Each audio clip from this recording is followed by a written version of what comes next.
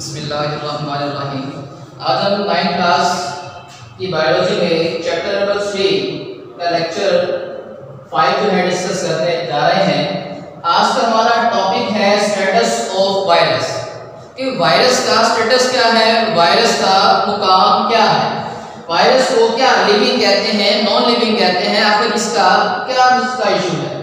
तो वायरस के बारे में कहा जाता है कि वायरस जो है, ये बॉर्डर लाइन पे है। लिविंग और नॉन लिविंग दोनों के बॉर्डर लाइन मतलब वायरस में लिविंग कैरेक्टरिस्टिक्स भी पाई जाती हैं वायरसेस में नॉन लिविंग कैरेक्टरिस्टिक्स भी पाई जाती हैं। इस वजह से हम कहते हैं ये बॉर्डर लाइन पर है। अब इनमें लिविंग कैरेक्टरिस्टिक्स कौन कौन सी पाई जाती हैं? उसमें पहली कैरेक्टरिस्टिक ये है कि वायरसेस जब किसी जानदार के अंदर और सेल के अंदर होते हैं, तब ये अपनी तादाद में इजाफा करते हैं मतलब रिप्रोड्यूस करते हैं। और रिप्रोडक्शन जो है, ये प्रॉपर्टी लिविंग ऑर्गेनिज्म की प्रॉपर्टी होती है। तो यहाँ जो है तो वायरस जो है रिप्रोड्यूस करता है। इस वजह से हम कह सकते हैं कि वायरस जो है, ये लिविंग होते हैं। अब जो है वायरसेस नॉन लिविंग क्यों है? इनको नॉन लिविंग क्यों कहा जाता है? नॉन जाता जो वायरसेस हैं, जब ये जानदार की बॉडी के बाहर होते हैं, तब ये क्रिस्टल्स की शक्ल में होते हैं। और क्रिस्टल्स का बनना क्रिस्टल्स फॉर्मेशन ये नॉन लिविंग की प्रॉपर्टी है। क्रिस्टल्स कहते हैं स्पेसिफिक ज्योमेट्रिक शेप मतलब कि कोई भी शेप जो है, जो स्पेसिफिक हो, जो मेट्रिक हो, उसके मखसूस एंगल्स हो, ऐसी शेप को क्रिस्टल कहा जाता है। जो क्रिस्टल्स फॉर्मेशन है, ये नॉन लिविंग की प्रॉपर्टी है लिविंग की प्रॉपर्टी नहीं है। इसके अलावा जो वायरसेस हैं, इनको नॉन लिविंग क्यों कहा जाता है, उसकी वजह यह है कि सेल पर मुश्तमिल नहीं होते हैं। और हम जानते हैं, कोई भी चीज़ जो सेल पर मुश्तमिल नहीं होती, हम उनको जानदार नहीं कहते। अब यही वजह है कि वायरसेस को किसी भी किंगडम में शामिल नहीं किया जाता। तो आपने पाँच किंगडम आपने पढ़े हुए हैं, जो किंगडम मोनरा है किंगडम प्रोटिस्टा फंजाई एनिमेलिया और किंगडम कांटी इनको किसी भी किंगडम में शामिल नहीं किया जाता। सिर्फ़ और सिर्फ़ उसकी वजह क्या है कि ये सेल पर मुश्तमिल नहीं होते। हमने अभी डिस्कस किया कि लिविंग प्रॉपर्टी जो है वायरस में वो है रिप्रोडक्शन दूसरा वायरसेस के पास जो है, उसके पास अपना डीएनए मौजूद होता है। मतलब कि अपना जेनेटिक मटेरियल मौजूद होता है। न्यूक्लिक एसिड वो डीएनए भी हो सकता है, वो आरएनए भी हो सकता है। अब ये जो है कि वायरस जो है लिविंग जो है जो इसके अंदर कैरेक्टरिस्टिक्स कौन कौन सी हैं और नॉन लिविंग कौन कौन सी हैं? अब सवाल ये है कि जो वायरसेस हैं वायरसेस अगर सेल पर मुश्तमिल नहीं होते हैं तो किस चीज़ पर मुश्तमिल होते हैं? तो वायरस की जो केमिकल कंपोजिशन जब देखी गई तो वायरस इस दो चीज़ों पर मुश्तमिल है। एक न्यूक्लिक एसिड दूसरा है इसके अंदर प्रोटीन अब न्यूक्लिक एसिड जो है, जो सेंट्रल कोड में होते हैं मतलब मरकजी हिस्से में होते हैं, जबकि जो प्रोटीन है प्रोटीन इसके बाहर मौजूद होती है। और ये जो इसकी अरेंजमेंट है कि इसका न्यूक्लिक एसिड कहाँ है? इसके प्रोटीन कोड कहाँ पर है? कहाँ कहाँ मौजूद होते हैं? इसे स्ट्रक्चर कहा जाता है। इस तरह से जो इसका स्ट्रक्चर है, वो भी आपके सामने बना हुआ है। अब आ जाते हैं वायरसेस ये सेल पर मुश्तमिल नहीं होते, जो कि प्रोटीन और न्यूक्लिक एसिड पर मुश्तमिल होते हैं, और कुछ पार्टिकल्स तो ऐसे हैं जो कि सिर्फ़ और सिर्फ़ प्रोटीन्स पर मुश्तमिल होते हैं, और कुछ वायरसेस या फिर कुछ ए सेलुलर पार्टिकल्स ऐसे हैं जो सिर्फ़ और सिर्फ़ आरएनए पर मुश्तमिल होते हैं। इस तरह से ये जो है प्रायोन्स और वायरसेस तो जो सॉरी वायराइड्स ये जो है, ये ए सेलुलर पार्टिकल्स हैं। और ये पौधों में, जानवरों में मुख्तलिफ़ किस्म की बीमारियाँ पैदा करते हैं। ये है वायरसेस के मुतलिक जो मालूम है।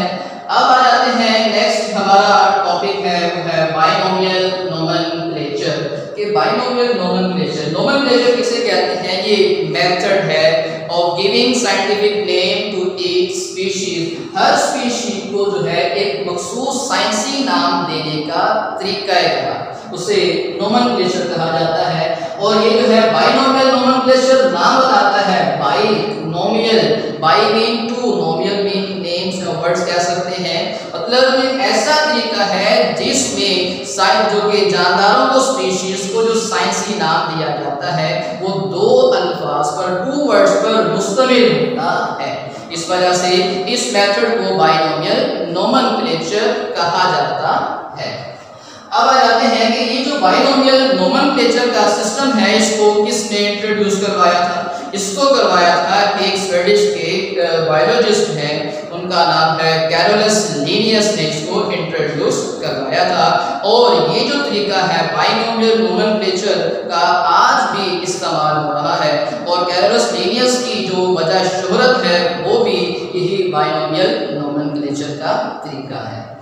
उसके बाद आ जाते हैं rules for documenting the scientific name अब रूल्स क्या है कि जब हम साइंसी नाम लिखते हैं तो लिखने के कुछ रूल्स हैं, कुछ असूल हैं। पहला असूल इसका जो है, वो क्या है, उसको देख लेते हैं। साइंटिफिक नेम जब भी लिखा जाए, जब भी लिखा जाए, इसको इटैलिक्स में लिखा जाए। जब भी प्रिंट किया जाए इटैलिक्स में किया जाए। अगर हैंड रिटन में है तो बोल्ड करके लिखा जाए मतलब कि मार्कर से लिख दिया जाए। और अगर मार्कर इस्तेमाल नहीं करते हैं, आप पेन से लिखते हैं तो उसको अंडरलाइन ज़रूर कीजिएगा। इसके जो है पहला रूल इसका। उसका दूसरा रूल है, वो ये है कि साइंटिफिक नेम की टू वर्ड्स हैं, इसके दो हिस्से होते हैं। फ़र्स्ट नेम जो फ़र्स्ट नेम है, वो जीनस को ज़ाहिर करता है और जेनरिक नेम कहलाता है। जो सेकंड वर्ड है, वो स्पीशी के नेम को ज़ाहिर करता है। और जो जीनस का नेम है, इसको हमेशा कैपिटल लेटर से स्टार्ट करते हैं और इसके साथ जो स्पीशी का नेम है, उसको हमेशा स्मॉल लेटर से स्टार्ट करते हैं। इसकी मिसाल मैं आपको शुरू दे देता हूँ कि सपोज़ करते हैं, ये एक नेम मैं लिख रहा हूँ एस क्रीचिया कोलाई ये एक साइंटिफिक नेम है बैक्टीरिया का साइंटिफिक नेम है। इसके टू पार्ट्स हैं। एक है एस्प्रीचिया दूसरा है कोलाई एस्प्रीचिया जो है, ये जीनस नेम है। जो कोलाई है, ये स्पीशी नेम है। जीनस नेम को हमेशा कैपिटल लेटर से स्टार्ट किया जाता है। जो स्पीशी नेम इसको हमेशा स्मॉल लेटर से स्टार्ट किया जाता है। इसका जो तीसरा रूल है, वो ये है कि जब भी आप साइंटिफिक नेम को लिखें फ़र्स्ट टाइम लिखें तो साइंटिफिक नेम जो है, मुकम्मल लिखना चाहिए, मुकम्मल लिखा जाए। और अगर जो है बार बार यही साइंटिफिक नेम बार बार जो है आता है बार बार लिखने की ज़रूरत पड़ती है, या फिर अलग अलग स्पीशीज हैं, उनका जीनस सेम है बार बार लिखने की ज़रूरत पड़ती है तो आप जो है जीनस नेम को जेनरिक नेम को आप एब्रीविएट कर सकते हैं। जैसे एस्पीशिया कोलाई जो है, ये बन जाएगा ई कोलाई इस तरह से इसको आप एब्रीविएट भी कर सकते हैं। उसके बाद फिर आ जाते हैं कि जो साइंटिफिक नेम है बायोनोमियल नोमेनक्लेचर इसकी सिग्निफिकेंस क्या है, इसकी अहमियत क्या है? मतलब ज़रूरत क्यों पड़ी कि साइंटिफिक नेम होने चाहिए? तो ये जो है, इसकी ज़रूरत इस वजह से पड़ी? क्योंकि जो कॉमन नेम्स हैं कॉमन नेम्स कंफ्यूजन कॉज करते हैं। अब जो है कॉमन नेम्स क्या क्या कंफ्यूजन कॉज करते हैं और किन के लिए? ये कंफ्यूजन कॉज करते हैं साइंटिस्ट के लिए, क्योंकि साइंटिस्ट को प्रॉब्लम होती है। अब जो इसका, इसकी पहली वजह है, जो कॉमन नेम जो है कंफ्यूजन कॉज करते हैं, वो ये है कि एक ही स्पीशीज के डिफरेंट नेम्स हैं। मिसाल के तौर पर मैं ऑनियन की बात करता हूँ, प्याज उसको उर्दू में कहा जाता है ऑनियन इंग्लिश में कहा जाता है, गंडा बसल बसल जिसको कहा जाता है। अब एक ही स्पीशीज के जो है डिफरेंट नेम्स हैं। अगर सपोज़ करते हैं, अगर एक साइंटिस्ट जो है, किसी एक मुल्क से किसी दूसरे मुल्क में जाता है और जाकर अपने ही ज़ुबान के अल्फाज इस्तेमाल करता है तो उनको जो है, वो नाम समझ में नहीं आता, जिस वजह से साइंटिस्ट को रिसर्च करने में प्रॉब्लम्स पेश आती हैं कंफ्यूजन पेश आती हैं। इस वजह से जो है, और इवन के जो कॉमन नेम्स होते हैं, ये वैरी करते हैं कंट्री कंट्री मुल्क से मुल्क मुख्तलिफ़ होते हैं। और इवन के एक ही मुल्क के अंदर मुख्तलिफ़ इलाकों में एक ही स्पीशीज के डिफरेंट नेम्स होते हैं।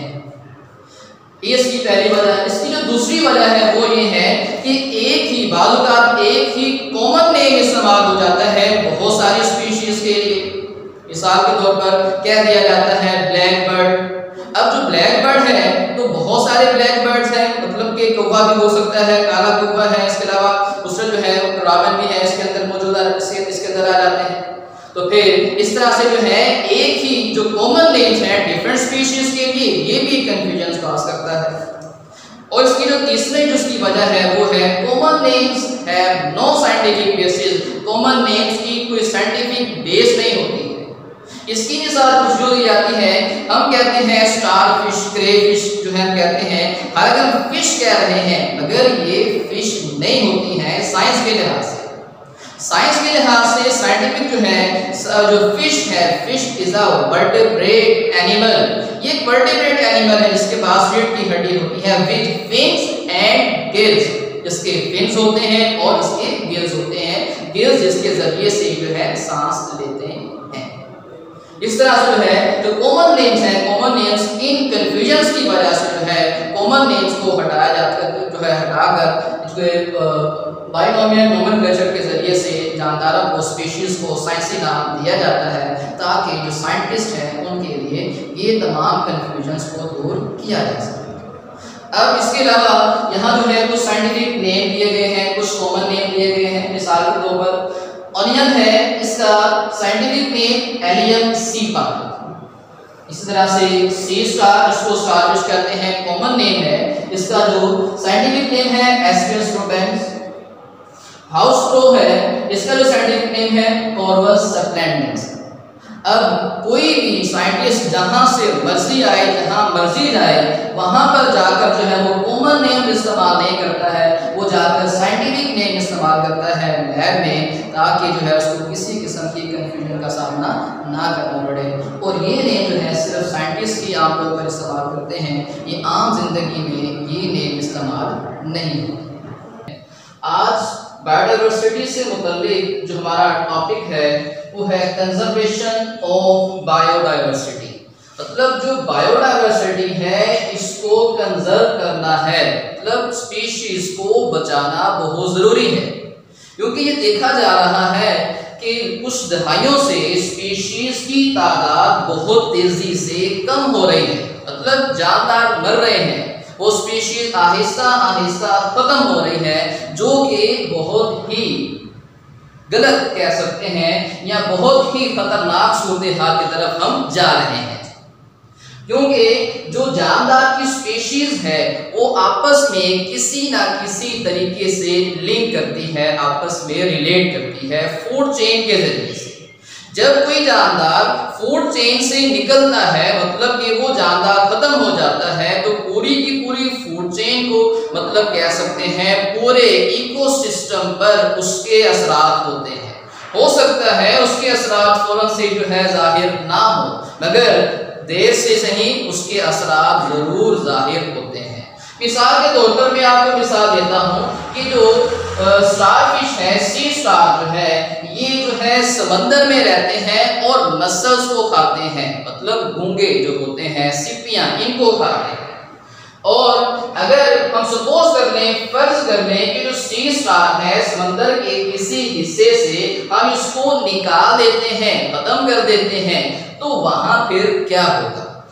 अब सी स्टार खाते क्या है? मसल्स को खाते हैं, सिपियाँ खाते हैं घूँगे स्नेल्स को खाते हैं। जब सी स्टार नहीं होंगे तो स्नेल्स नहीं खाए जाएँगे। जब वो नहीं खाए जाएँगे तो उसकी वजह से उनकी तादाद में स्नेल्स की तादाद में इजाफा हो जाएगा। अब स्नेल्स जिन जानदारों को खाते हैं, फिर वो जानदार ज़्यादा खाए जाएँगे, जिस वजह से जो जानदार ज़्यादा खाए जाएँगे, उनकी तादाद फिर कम हो जाती है। इस तरह से जो पूरा इकोसिस्टम है, जो पूरी फ़ूड चेन होती है, ये उस पर उसका असर होता है।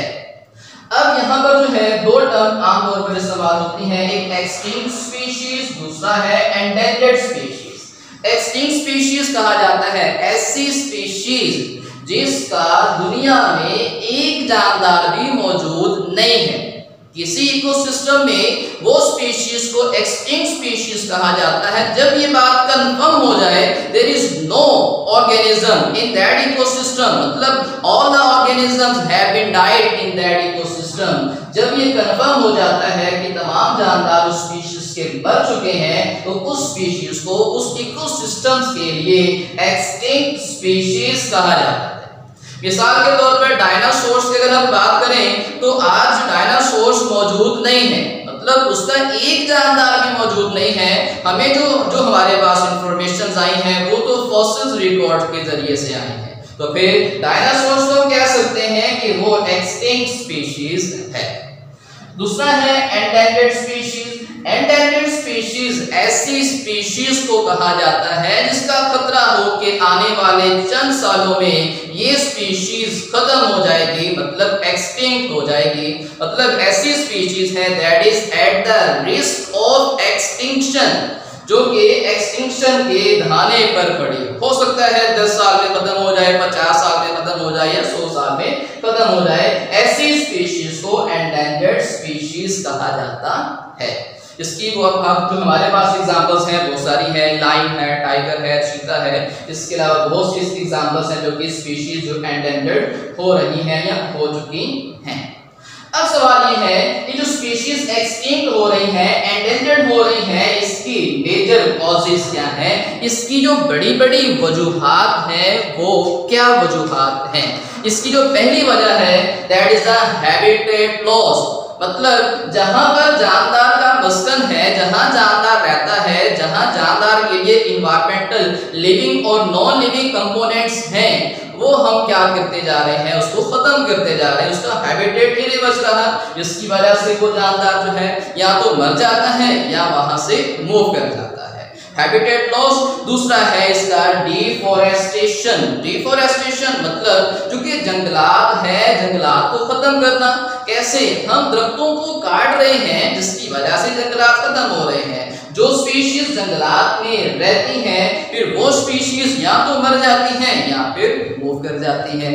इसी तरह से जो कि इसकी तीसरी वजह है दैट इज़ ओवर हंटिंग मतलब ज़्यादा शिकार, जो कि शिकार का ज़्यादा होना, इसकी वजह से भी स्पीशीज एक्सटिंक्ट हो रही हैं और एंडेंजर्ड हो रही हैं। इसके अलावा है क्लाइमेट चेंजेस कुछ माहौल में तब्दीलियाँ आ रही हैं इसकी वजह से भी जो है स्पीशीज जो है, उस माहौल को एडोप्ट नहीं कर पाती है कुछ जानदार तो फिर वो जानदार मर जाते हैं। इसके अलावा पॉल्यूशन पॉल्यूशन मतलब कि आलूदगी आलूदगी की वजह से भी जो है स्पीशीज जो है एक्सटिंक्ट हो रही हैं, जो कि एंडेंजर्ड हो रही हैं। और इसके अलावा है लास्ट में वो है रिमूवल और इंट्रोडक्शन ऑफ़ स्पीशीज मतलब किसी इकोसिस्टम में अगर कोई स्पीशीज आती है या कोई स्पीशीज निकलती है तो भी क्या होता है, उस पूरे इकोसिस्टम पर उसके असरात मुरतब होते हैं। ये कुछ रीजन हैं, कुछ कॉजेज हैं जिसकी वजह से जो स्पीशीज हैं स्पीशीज एक्सटिंक्ट हो रही हैं या फिर क्या है स्पीशीज एंडेंजर्ड हो रही हैं। अब नेक्स्ट है, हम चलते हैं डिफोरेस्टेशन जो कि हमने भी कहा कि डिफोरेस्टेशन जो है, ये स्पीशीज की एक्सटिंक्ट या एंडेंजर्ड होने की एक बड़ी वजह है। अब डिफोरेस्टेशन कहते किसको है इसका तो इसकी डेफिनेशन है कटिंग डाउन ऑफ़ ट्रीज दरख्तों को काटना for the conversion of convert करने के लिए forest land into non forest land जंगलाती ज़मीन को गैर जंगलाती ज़मीन में तब्दील करने के लिए जो दरख्तों को काटा जाता है, इस अमल को कहा जाता है डिफोरेस्टेशन ये डिफोरेस्टेशन है। अब डिफोरेस्टेशन अभी हमने कहा कि मेजर कॉज है स्पीशीज के एक्सटिंक्ट होने की इसकी कॉजेज क्या है? इसकी वजूहत क्या है? कि स्पीशीज जो कि डिफोरेस्टेशन क्यों की जाती है? इसका पहला कॉज है फॉर ऑब्टेनिंग वुड कि हम लकड़ी हासिल करना चाहते हैं। फॉर ऑब्टेनिंग एग्रीकल्चर लैंड हम ज़मीन हासिल करना चाहते हैं, जहाँ पर हम ज़रात को, अपनी जो है पैदावार को बढ़ा सकें। जी अर्बन डेवलपमेंट हम डिफोरेस्टेशन के कॉजेस पढ़ रहे थे, इसमें हमने पहला कहा फॉर ऑब्टेनिंग वुड मतलब लकड़ी हासिल करने के लिए हम दरख्तों की कटाई करते हैं डिफोरेस्टेशन करते हैं। अब सवाल ये है कि हमें लकड़ी क्यों चाहिए है, उसकी वजह क्या है? तो लकड़ी हमें चाहिए है, इसके बहुत सारे हमारे पास जो है पर्पजेज हैं। हमें लकड़ी चाहिए है फर्नीचर को बनाने के लिए। हमें लकड़ी चाहिए है बिल्डिंग हाउसेस हाउसेस को बनाने के लिए। इसी तरह से हम लकड़ी को इस्तेमाल करते हैं इसके जो कि पेपर बनाने के लिए, जो कि वुड पल्प इस्तेमाल होता है पेपर बनाने के लिए। इसके अलावा है लकड़ी को हम इस्तेमाल करते हैं एज अ फ्यूल घरों में इस्तेमाल करते हैं इंडस्ट्रीज़ में इस्तेमाल करते हैं। इस वजह से हम क्या करते हैं, हम दरख्तों को काटते हैं। जिसकी वजह से जो है फिर डिफोरेस्टेशन होती है और और हम अपनी जरूरियात को, जो कि लकड़ी की जरूरियात को पूरा करते हैं। दूसरा है फॉर ऑप्टेनिंग एग्रीकल्चरल लैंड हम क्या करते हैं, हम जो आबादी में इजाफा हो रहा है तो उस आबादी में इजाफे की वजह से खुराक की जरूरियात भी बढ़ रही हैं। तो खुराक की जरूरियात को पूरा करने के लिए हम दरख्त काट देते हैं। दरख्त काटने के बाद फिर वहाँ पर हम एग्रीकल्चर मतलब के ज़रात का काम करते हैं या फिर ये कह लें वहाँ पर हम फ़सलें उगाते हैं, जिससे हमारी खुराक की ज़रूरियात जो है पूरी होती है। मगर इसका जो है एक बेनिफिट तो है कि हम जो है ज़रात में उसको जो है इन्वेस्ट कर देते हैं, हम वहाँ जो है फ़सलें उगा देते हैं। मगर एट द सेम टाइम हम जो है इसका नुकसान भी हमारे पास है, क्योंकि किसी भी मुल्क की जो इकोनॉमी है उसके फॉरेस्ट पे डिपेंड कर रही होती है। क्योंकि अगर फ्रेश जितने ज़्यादा होंगे, उस मुल्क की इकोनॉमी उतनी ही बेहतर होती है, उतनी ही अच्छी होती है। क्योंकि दरख्त है, वहाँ से लकड़ी हासिल होती है। लकड़ी को काटते हैं थोड़ा सा फिर उसको बेच देते हैं। इस तरह से मुनाफा कमाया जाता है। तो फिर जब हम दरख्तों को बिल्कुल ही काट देते हैं तो फिर क्या होता है कि जो हमारा लॉन्ग टर्म जो बेनिफिट्स है, वो खत्म हो जाता है। और हम क्या करते हैं, हम एग्रीकल्चर करते हैं, जो कि एक शॉर्ट टर्म बेनिफिट्स के तौर पर हमें हासिल होता है। अब तीसरा है, इसके अलावा अर्बन डेवलपमेंट मतलब कि हम कॉलोनीज बनाना चाहते हैं फैक्ट्रीज बनाना चाहते हैं, जिसकी वजह से हम क्या करते हैं, दरख्तों को काट देते हैं, जिसकी वजह से जो है डिफोरेस्टेशन हो जाती है। अब जो अर्बन डेवलपमेंट ज़रूरी क्यों है, उसकी वजह क्या है? सेम आबादी बढ़ रही है। जब आबादी बढ़ेगी तो आबादी के बढ़ने की वजह से नई कॉलोनीज भी बनानी पड़ेंगी और नए शहर भी आबाद करने पड़ेंगे, नई फैक्ट्रीज भी बनानी पड़ेंगी। इस वजह से जो है, फिर इसकी जो कि डिफोरेस्टेशन की जाती है। अब इसकी जो है डिफोरेस्टेशन के कॉजेस के बाद इसके इफेक्ट्स पे आ जाते हैं कि इसके असरात क्या क्या होंगे। कि जो डिफोरेस्टेशन हो गई है, ठीक है, अब इसका असरात क्या, इसके इफेक्ट्स क्या क्या हैं? इसके इफ़ेक्ट में पहला इफ़ेक्ट है सॉइल एरोजन हो जाती है मतलब ज़मीन बंजर हो जाती है, बंजर होने का खतरा होता है। क्योंकि जो प्लांट्स हैं प्लांट ज़मीन को, मिट्टी को अपनी जगह पे जगड़ के रखते हैं, कि प्लेस इन सॉइल जो प्लांट्स हैं सॉइल को अपनी जगह पे रखते हैं। जब प्लांट्स नहीं होते हैं तो फिर जो मिट्टी है अपनी जगह पे नहीं रहती। हैवी रेनफॉल की वजह से जो मिट्टी है, वो मिट्टी के अंदर जो न्यूट्रिएंट्स होते हैं, वो न्यूट्रिएंट्स वो पानी के साथ ही बह कर चले जाते हैं। बह जाते हैं, जिसकी वजह से ज़मीन में, मिट्टी में न्यूट्रिएंट्स की मकदार कम हो जाती है और आहिस्ता आहिस्ता ज़मीन जो है बंजर होना या फिर सॉइल एरोजन शुरू हो जाती है। अब वही जो मिट्टी जो है, जो पानी के साथ बहकर चली गई है, कहाँ जाएगी? अब वो जाती है या तो दरियाओं में जाती है, नहरों में जाती है, नदी नालों में जाती है, समंदरों में। अब फिर वही जो मिट्टी है, वहाँ पानी में जो कि वाटर बॉडीज है, वहाँ पर नीचे बैठ जाती है। जब नीचे बैठ जाएगी, उसकी वजह से क्या होगा? जो पानी का लेवल है, वो ऊपर आ जाता है। मतलब जो पानी का लेवल है रेस कर जाता है, जिसकी वजह से फ्लड के चांसेस भी बढ़ जाते हैं। ये इसका जो है एक और इफ़ेक्ट सामने आ गया है कि ये सॉइल ओरिजिन के साथ साथ जो है क्योंकि फ्लड के चांसेस हैं, वो भी बढ़ जाते हैं। इसके अलावा, जो कि रिड्यूसेस रेनफॉल मतलब जो बारिशें हैं, वो कम होती हैं। दरख्त होंगे तो ट्रांसपायरेशन होगी। अब ट्रांसपायरेशन ट्रांसपायरेशन कहते हैं loss of water vapours from the plant surface पौधे जो है, पानी की बखोरात खारिज करते रहते हैं तो फिर जब पौधे नहीं होंगे तो फिर ट्रांसपारेशन नहीं होगी, जिसकी वजह से हवा में नमी कम होगी, पानी कम होगा, जिसकी वजह से बादल कम बनेंगे, जिसकी वजह से बारिशें भी कम होती हैं। अब इसके अलावा जो है, कुछ जो कि डिफोरेस्टेशन के कुछ डिसएडवांटेजेस भी हैं और वो क्या क्या हैं? मिसाल के तौर पर मैं कहता हूँ, जो फॉरेस्ट जो फॉरेस्ट है, इसकी बहुत सारी, इसकी अहमियत है, इसकी इंपॉर्टेंस है। इसकी इंपॉर्टेंस क्या है कि एक जो है, ये माहौल को खूबसूरती प्रोवाइड करती है ब्यूटी देती है, जिसकी वजह से टूरिस्ट अट्रैक्ट करते हैं। जब दरख्त ही नहीं होंगे, जंगलात ही नहीं होंगे तो फिर क्या होगा, जो टूरिस्ट है वो उस तरफ़ जो है अट्रैक्शन उनकी कम हो जाएगी, जिसकी वजह से मुल्क की इकोनॉमी में जो है थोड़ा सा लॉस होता है। इसके साथ साथ जो है, इसके जो और जो है क्योंकि फॉरेस्ट जो है, आप सब जानते हैं कि ये पॉल्यूशन को भी कंट्रोल करते हैं, या फिर ये क्या लें पॉल्यूशन को कम करते हैं। हवा में बहुत सारे ऐसे पॉल्यूटेंट्स हैं, जो कि जिनको फॉरेस्ट जो है एब्जॉर्ब कर लेते हैं, इस तरह से हवा को खुशगवार रखते हैं, हवा को सेहतमंद रखते हैं, तंदुरुस्त रखते हैं। जो कि इंसानों के लिए और दूसरे जानदारों के लिए बहुत ज़्यादा ज़रूरी होती है। तो फिर डिफोरेस्टेशन की वजह से ये नुकसान भी सामने होता है। अब जो है, इसके अलावा जो कि फॉरेस्ट है, पाकिस्तान में के में फॉरेस्ट है क्लोज कैनोपी फॉरेस्ट ये फॉरेस्ट हर साल जो है, एक एक परसेंट वन परसेंट की रफ्तार से ये आहिस्ता आहिस्ता ये कम होता जा रहा है, ये श्रिंक करता जा रहा है सुकड़ता जा रहा है। ये हमारे जो कि डिफोरेस्टेशन के टॉपिक के लिहाज से जो मेन मेन पॉइंट्स हैं, वो मैंने आपको बता दिए हैं। आप फिर भी उसको जो है मजीद डिटेल से इसको पढ़ेंगे, जो बात समझ नहीं आती है, वो आप हमसे कॉन्टेक्ट कर सकते हैं। अब हम नेक्स्ट आ जाते हैं, वो है ओवर हंटिंग ओवर हंटिंग में हमने कहा था ये भी क्या है मेजर कॉज है स्पीशीज के एक्सटिंक्ट होने बहुत सी स्पीशीज के एक्सटिंक्ट होने का या एंडेंजर्ड होने का मेजर कॉज है। अब जो ओवर हंटिंग है, ज़्यादा शिकार शिकार ज़्यादा करना।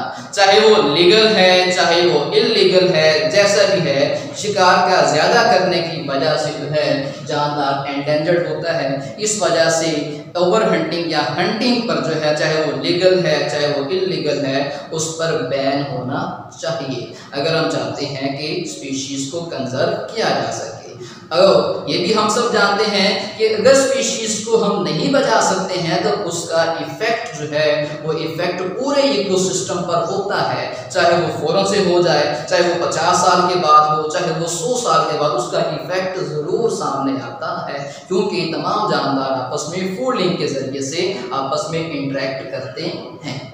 अब जो है, दो तंजीमें हैं। एक है IUCN international union for the conservation of nature and natural resources IUCN और दूसरा है WWFP world wild life fund Pakistan ये दो ऑर्गेनाइजेशन हैं जिन्होंने बहुत सारे स्टेप्स जो है उठाए हैं, जो कि कंजर्व जो कि कंजर्व करते हैं बायोडाइवर्सिटी को बचाने के लिए काम करते हैं। जो कि कंजर्वेशन की जो स्टेप्स हैं, ये काफ़ी सारे स्टेप्स हैं, इनको आप डिटेल से पढ़ लेंगे डिस्कस कर लेंगे, सिर्फ़ इसमें इंफॉर्मेटिव जो एक मालूम है वो आप देख लेंगे। फिर भी कोई बात समझ नहीं आती है तो हमसे आप कॉन्टैक्ट कर लेंगे। अब लास्ट में आ जाते हैं एंडेंजर्ड स्पीशीज इन पाकिस्तान की पाकिस्तान में एंडेंजर्ड स्पीशीज कौन कौन सी हैं?